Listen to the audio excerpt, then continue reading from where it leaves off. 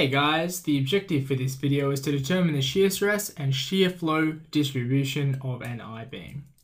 So let's have a look at the question here.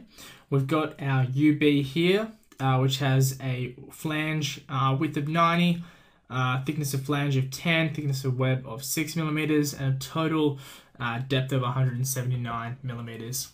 So we've applied a 150 kilonewton uh, shear force to our beam. It's got a second moment of area of 15.3 times 10 to the 6, and we've got to use this information here to determine the shear stress and shear flow distribution. So we're going to actually have to split this up into two um, separate sections. So section one is going to be here. We're going to be just considering um, the area where y is greater than 79.5 millimeters.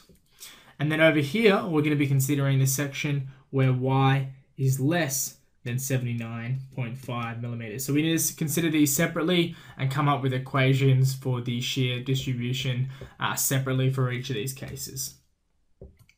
So the first thing um, that we want to do is just write down our shear stress equation. So shear is equal to the shear